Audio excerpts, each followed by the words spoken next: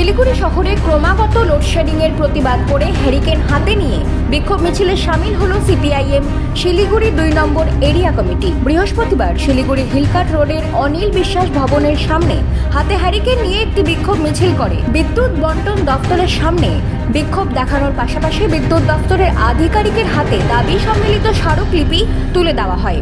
তীব্র তাপদাহে যেভাবে শহর জুড়ে লোডশেডিং হচ্ছে, তাতে আম জনতা ভোগান্তির শিকার হচ্ছে।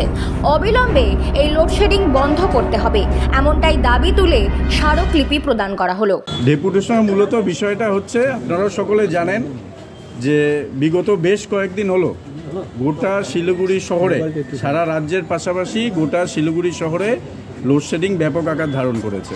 পূর্ব ঘোষণা ছাড়া বারবার লোডশেডিং হচ্ছে। সকালে, রাতে শিলিগুড়ি শহরে বিভিন্ন অংশের মানুষেরা বসবাস করেন এবং বাইরেরও বহু মানুষ কর্মসূত্রে শিলিগুড়িতে আসেন।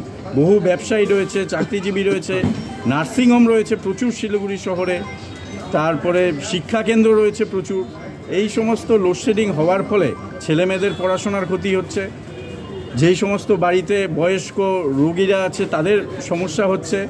যারা ব্যবসা করেন, ব্যবসায়ী বন্ধুদের, তাদের সমস্যা হচ্ছে, গোটা শিলিগুড়িবাসী সাধারণ মানুষের আমজনতা তীব্র সমস্যার সম্মুখীন হচ্ছে।